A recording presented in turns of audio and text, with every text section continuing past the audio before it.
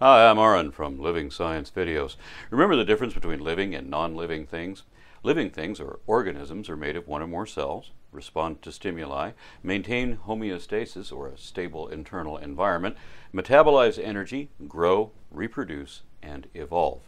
Today we're going to look at the way living things like your cells grow, repair themselves, and reproduce. Unicellular organisms divide to reproduce themselves. The cells of multicellular organisms also divide to develop a fertilized egg, seed, or spore, to grow, to repair the body, uh, replacing damaged cells. And each cell has a life cycle called the cell cycle, of which cell division is only one part. Of course, you're made of cells, uh, so your cell growth or your growth in size is related to your body's skin, bone, and muscle cells growing in number by reproducing themselves. In fact, your cells growing in size is part of the reason that they grow in number. Think of it like a city. As cities grow on the inside, the city becomes denser with houses, buildings, and cars. Expanding the border on the outside doesn't really help move things around on the inside. And downtown is the center of the city. And at first, this is where most of the life of the city happens, but as the city grows, city centers start to multiply. Look at New York. People can live in different boroughs like Queens or the Bronx and don't necessarily have to visit the metropolitan downtown center. Similarly, as a cell grows, it becomes more congested.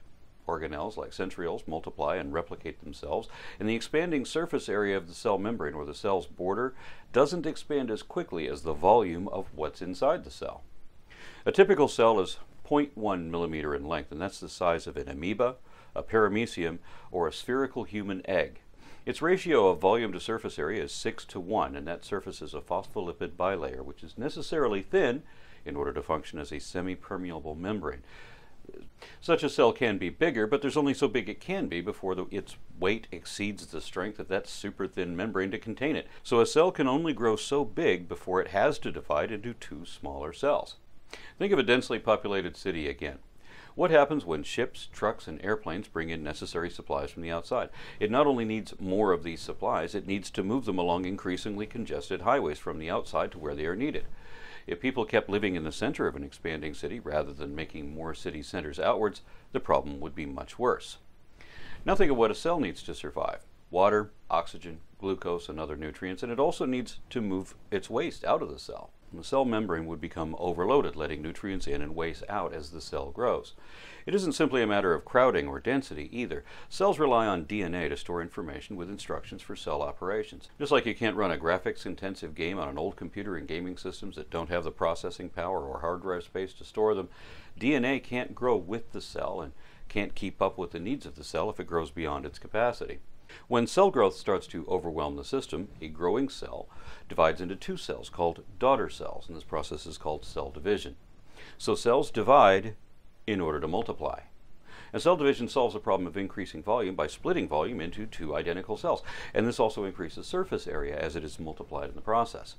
Cells also divide when a multicellular organism needs to repair itself. Now, here with a comment on the role of cellular division with repair is my protege, MicroRa. Have you ever thought about your cells replacing each other? Are you really the you you were when you were born? And will you be the you you'll be in the future? As it turns out, you might not be.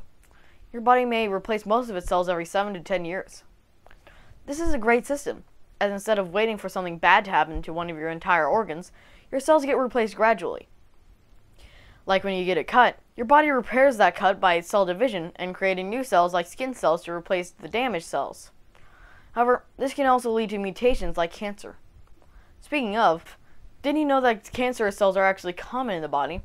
Most cancerous cells are dealt with by the immune system. However, sometimes your immune system doesn't fight it in time or simply isn't strong enough, and that's when cancer strikes. Cancer is essentially a cell that doesn't shut down at what's supposed to be the end of its life and keeps dividing. It reproduces constantly, leading to a buildup of cells, constantly and exponentially reproducing. This can lead to tumors, blocking up important blood vessels, or preventing other cells from reproducing. Thankfully, us human beings are very adaptable and are constantly finding new and better ways to treat cancer. That's because humans are born with about 100 billion brain cells.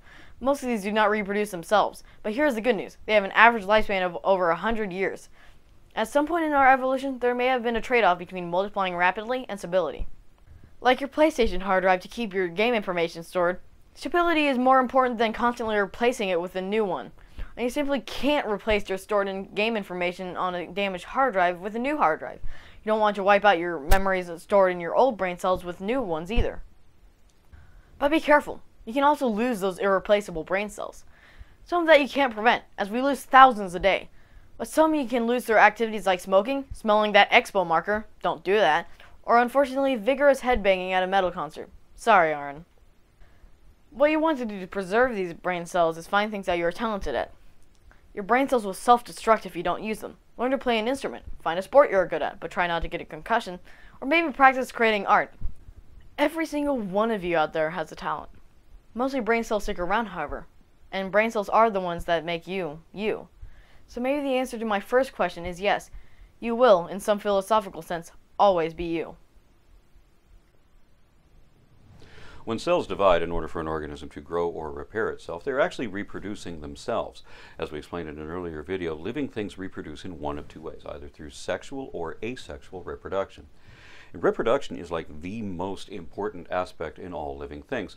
If cells didn't have the evolutionary advantages of reproduction, we wouldn't be able to talk about it today. Most unicellular organisms, like bacteria, reproduce asexual, mostly identical clones of themselves, but a few, like the bacteria that causes pneumonia, have adapted sexual reproduction to give them survival advantages. Around the world, pneumonia kills about a million people a year. Now, let's say that there's a change in the pneumonia bacteria's environment in its human host. A doctor prescribes an antibiotic. Those bacteria that reproduce through one of the sexual reproduction strategies called recombination have an advantage over those that reproduce asexually. Through recombination, these bacteria recombine their DNA with that of other bacteria, changing their DNA and speeding up the evolutionary process. The daughter cell is not an identical clone with the same weaknesses to antibiotics. Over time, some of the worst disease causing microbes can develop an immunity, which is why it's so important for scientists to study and understand the evolution of bacterial reproduction. Understanding how cells reproduce also gives us important information to understand how we as multicellular animals evolve, grow, and develop. It gives scientists important clues on how to fight cancer and diseases. Apart from that, studying and understanding cell division is a fascinating window into an invisible, microscopic world that often operates without our notice until something goes wrong.